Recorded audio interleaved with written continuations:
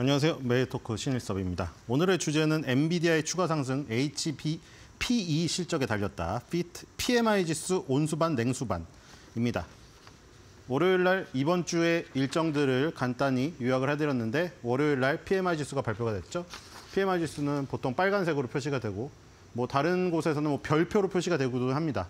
별표가 다섯 개, 별 다섯 개 만점에 별 다섯 개. 중요하다는 뜻이겠죠. 빨간색 아니면 별 다섯 개니까요. PMI 지수 펄처싱 매니저. 아 웬만하면 영어를 안 하려고 하는데 다 발음이 안 좋아서 PMI 구매 기업에서 그 구매를 담당하시는 분들이 있을 거 아니에요? 재경을 담당하거나 이런 사람들에게 설문조사를 한 거죠. 근데 어디요? 매뉴팩처링, 제조업에서 서비스업이 아니고요. 서비스업은 또 금요일에 금요일에 나오죠 후반부에. manufacturing PMI인데 보통 저렇게 그냥 final 뭐 manufacturing PMI로 나왔죠. 앞에 앞에 그 저기 단체 이름이 안 붙으면 그냥 뭐라고 한다고 뭐 어디서 하는 거라고 했죠? 마킷이라는 설문조사에서 했는데 스탠다드 앤 푸어스 이름을 달고 나가는 그 PMI라고 했죠. 스탠다드 앤 푸어스 신용평가사에서 가장 유명한 회사잖아요. S&P라고도 하는 S&P의 제조업 PMI입니다. 예상치 대비해서 상회를 했네요. 예상치 50.9인데 실제치가 51.3으로 발표가 되었습니다. 50 50이 넘으면 뭐라고 했죠? 설문조사니까 설문지를 돌렸는데 50 이상이라고 하는 거는 기업의 제조업에 종사하는 구매 담당자 분들께서 앞으로 향후 구매를 많이 해야 될 것으로 제조업 경기가 좋아질 것으로 자신감을 갖고 있다는 생각하는 사람들이 많다는 거였죠. 그런데 오, 예상치도 50이었는데 실제치도 51.3이 나왔고 바로 전 전에 바로 전에는 이 예상치 대비해서 실제치가 높게 나왔는데 예상치는 50 밑이었는데 실제치가 50 이상이 나왔습니다. 아, 저 이게 일반적으로는 그냥 딱 그냥 일반적인 사전적인 의미로는 그러면 뭐예요? 계속 말한 대로 50 넣으면 좋은 거 아니에요? 맞죠? 50 넣으면 경기에 대한 자신감이 있다는 거잖아요. 그렇죠? 근데 지금은 뭐가 걸려 있냐면 계속 말했듯이 파워르장 그리고 FRB에서 금리를 뭐 인하를 해야 되니 많이 얘기를 하고 있잖아요. 그러니까 금리를 인하해 주려고 하면 어떻게 아이러니하게 어떻게 돼야 된다고 했어요? 사람들이 힘들어야 된다고 했죠.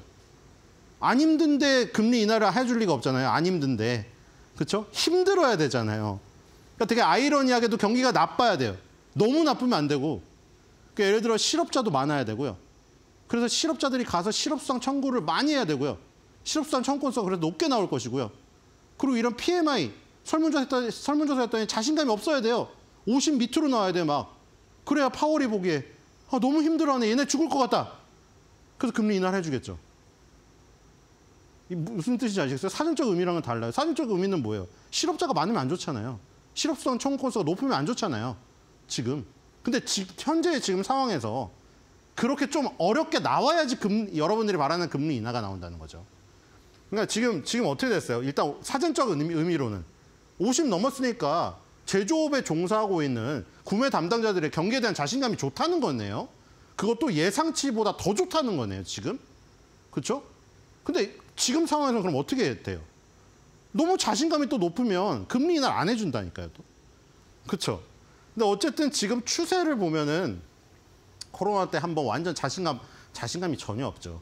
그러다가 코로나 끝나고 자식 경기에 대한 자신감이 엄청 높아졌다가 이제 다시 저기를 찾았죠. 평정심을 찾았고 다시 또 어, 조금 어려워지는 거 아닌가 하다가 지금 50 이상으로 좀 돌아서고 있습니다. 실제치는 지금 계속 1, 2, 3, 4, 5 다섯 번 연속 50 이상이 나왔네요. 실제치는. 그렇죠? 그다음에 PMI가 하나 또 발표되죠. 이번 어디서 발표되는 거죠? ISM이라는 단체에서 발표되는 거. 그렇죠? ISM이라는 저 단체에서 발표되는 거 이것도 빨간색이고요. 실제치가 48.7 나왔네요. 예상치가 49.8. 이건 예상치 하회했네요. 그렇죠. 두 개가 갈렸죠. 스탠다드 앤 푸어스 PMI, ISM에서 PMI. 방식은 똑같아요. 설문지를 돌려가지고 50 이상이니 50 미만이 저기 점수 매겨서 받아서 이거 발표하는 거예요. 근데 완전 갈렸죠.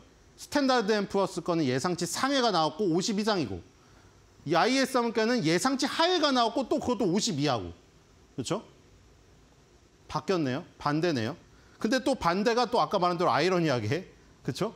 아까 원래는 사연적 의미로는 50 이상이 나오는 게 좋은데 예상치 상해가 좋은데 지금 금리 인하를 바라는 사람들에게는 이게 좋은 거죠. 또 예상치 대비해서 낮게 나왔잖아요. 그리고 50 이하잖아요. 어 경기에 대한 자신감이 없네. 얘네 좀 죽을 죽을 건가 보다. 어 금리 인상은 절대 안 되겠고 금리 동결 내지는 금리 인하도 해야 되겠는데 너무 힘들겠는데 이러고 있겠죠. 이걸 보면 이거는 지금 뭐 약간 보수적으로 나온다고 했죠. ISM이. 그러니까 지금 50 이상이 나온 게 한 번밖에 없어요. 최근에 여기.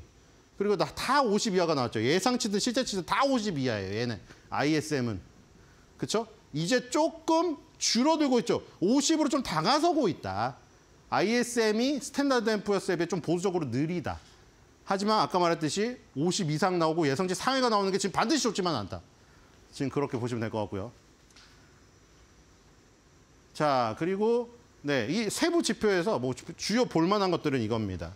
가장 많이 줄어든 게 이 두 개죠. 마이너스 3.7 하나 보이고 마이너스 3.9 하나 보이네요. 그렇죠? 이 두 개가 제일 크게 마이너스가 났네요. 3.9 뭐예요? price, 가격. 가격이 제일 많이 떨어졌고 그다음에 new order. 새로운 주문. 그러니까 여기서 많이 빠진 거예요. 새로운 주문을 안 했고 새로운 주문을 한다고 해도 그 가격이 떨어진. 그러니까 지금 기업의 구매 담당자 입장에서는 새로운 주문하기도 그렇고 그래서 새로운 주문을 안 했고 새로운 주문을 했는데도 싸구려를 싸구려를 한 거예요. 싸구려를. 싸구려 자재들을 주문한 거예요. 그래서 전반적으로 지금 예상치 하회가 나온 거죠. ISM 같은 경우에 이렇게 보시면 될 것 같고 그래서 새로운 주문에서 위축이 돼서 주문을 안 했다 이렇게 보시면 될 것 같습니다. 이게 어느 정도 힘들면 그렇죠? 너무 힘들어하네 제조업이 너무 힘들다 서비스업까지 너무 힘들다 그러면 이제 금리 인하를 뭐 고려해 보겠죠. 이렇게 보시면 될 것 같고요. 그리고 실적 그 일정들이었습니다. 월요일은 별게 없었고요. 깃랩이라는 업체가 굉장히 요즘에 뭐 두각을 나타내는 요즘 트렌드의 기업이긴 한데 아직 시장의 인지도라던가 시가총액이 크진 않죠. 이 화요일부터 조금 중요한 것들이 있습니다. 이 배스 앤 바디 이거 이것도 소비재잖아요. 비누랑 샴푸 이런 것들. 우리나라로 따지면 LG 생활건강의 그 생활용품 부분이라고 할 수가 있겠는데 장전에 나오고요. 화요일 날. 그다음에 크라우드 스트라이크.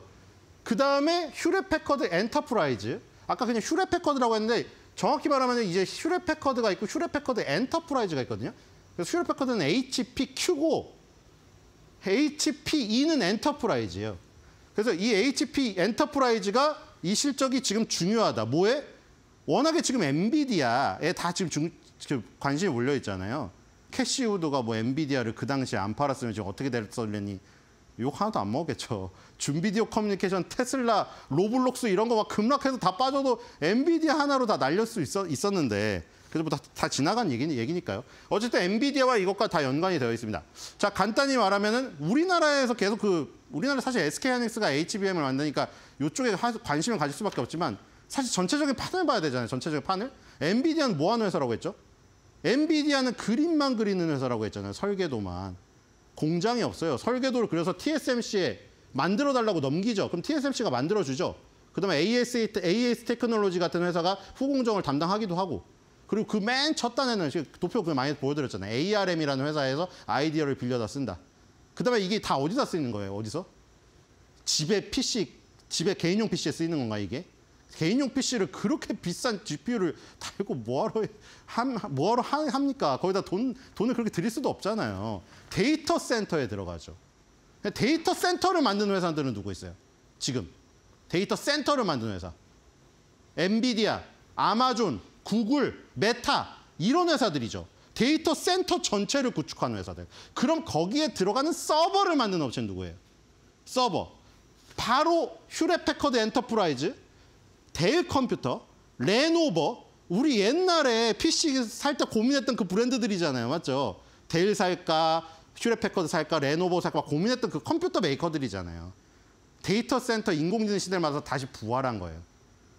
왜냐면 그게 지금 다 이름이 잊혀졌죠. 왜 잊혀졌죠?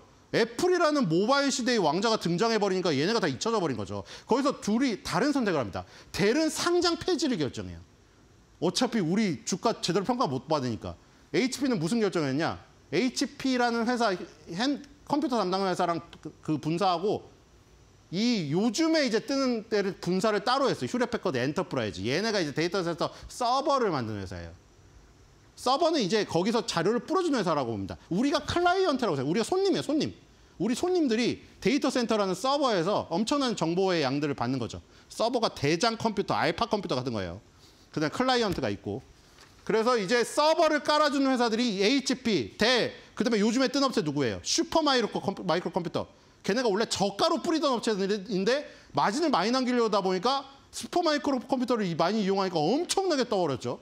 델, 휴렛패커드, 슈퍼 마이크로 컴퓨터, 레노버. 아까 이런 회사들이 컴퓨터 시대에 윈텔 시대에 잘 나가다가 애플의 이 아이폰과 모바일 시대에서 완전히 쳐져가지고 컴퓨터가 하나도 안 팔리다가 인공지능 센터의 시- 지능 시대에 맞춰서 지금 데이터 센터 서버로 엄청나게 부각이 되고 있는 거죠.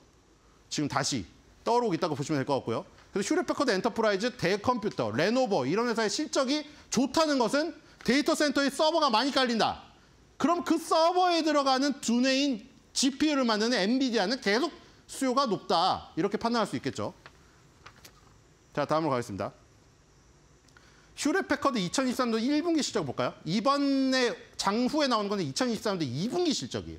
바로 전분기 실적입니다. 일단 레비뉴가 마이너스 14%, 2023년 1분기 대비해서 매출액이 14% 감소했고요. 순이익이 23% 감소했습니다. 그걸 주당으로 나누면 주당 순이익이 24% 감소했고 일회성 이익을 제외한 일회성 비용을 제외한 이 지금 조정 순이익도 마이너스 24%입니다. 자, 전체적으로 좋지가 않네요. 근데 여기서 중요한 거는 어닝 서프라이즈냐, 어닝 쇼크냐. 그렇죠? 전반적으로 줄어들긴 했는데 그러니까 차선이죠. 사실 오르고 그걸 또 뛰어넘는 게 제일 좋은데 내렸지만 그 시장 컨센서스보다 높으면 서프라이즈예요. 서프라이즈였던 거죠. 그리고 지금 제일 이 비중이 높은 까만색이 어딥니까? 바로 서버입니다. 서버. 서버가 그래서 여기서 살아난 거죠. 여기서 살아난 거고 intelli- intelligent edge. 엔, 이 edge가 이 똑똑해진다는 거예요. 우리 이제 디바이스 냉장고 끝에 edge device 있잖아요. 냉, 끝에 쓰는 거 냉장고 무슨 난로 핸드폰 이런 데도 AI가 탑재돼요. 이제는. 그래서 그런 데서 새로운 컴퓨터 시대에서 저물어 버렸던 그 요 지금 이 잠재성을 여기서 다시 폭발시키고 여기가 지금 17.4까지 지금 올라온 상황이죠. 어쨌든 지금 서버 이쪽이 가장 중요하다. 이렇게 보시면 될 것 같고요. 다 마이너스가 났지만 시장 컨센서스는 뛰어넘었습니다. 뒤로 가보, 가보겠습니다. 이거는 2023도 1분기니까 그냥 넘어가겠고요. 네, 2023도 1분기 거니까요. 말 설명했습니다. 자, 휴렛패커드 그래서 지금 보면은 여기서 매출액은 예상치보다 낮게 나왔어요. 매출액은. 매출액은 예상치보다 낮게 나왔는데 뭐가 어닝 서프라이즈냐? 이익이요. 다시 보시면은 주당 순이익이 어닝 서프라이즈가 나왔습니다. 그래서 매출액은 줄어들었지만 주당 순이익이 지금 4분기 연속 어닝 서프라이즈가 나와가지고 이 부분에 지금 시장에 더 주목을 해준다면은 그죠? 어 마진은 많이 남겼네. 이러면 주가는 오른다. 그 다음에 그 전에 델 컴퓨터가 발표를 했죠. 보, 보도록 하죠. 자, 델만 보고 그냥 마무리하도록 하겠습니다.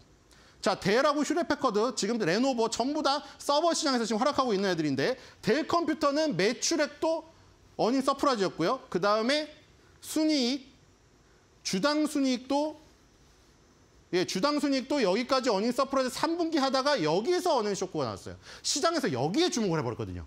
매출액이 델이 늘었으니까 아까 말한 대로 델이 서버를 많이 공급을 하니까 엔비디아가 좋겠네 했는데 얘가 마진이 안 좋게 나온 거예요. 그래서 분위기 때문에 꺼지긴 했는데 결국 그 얘기는 뭐예요? 델은 돈이 안 남는데 엔비디아가 돈 번 거예요. 지금. 그러니까 아까 슈퍼마이크로 컴퓨터가 좋은 이유가 슈퍼마이크로 컴퓨터는 싸게 서버를 제공하거든요. 그렇기 때문에 델이라든가 휴렛패커드는 이익을 적게 남겨서 장사를 하고 슈퍼마이크로 컴퓨터는 이익을 최- 많이 남길 수 있다는 거죠. 지금 오늘의 한 줄 매드평. 그래서 휴렛패커드 엔터프라이즈의 실적에 엔비디아 연관된 건 사실인데 결론은 서버는 곰이 만들고 돈은 엔비디아가 번다.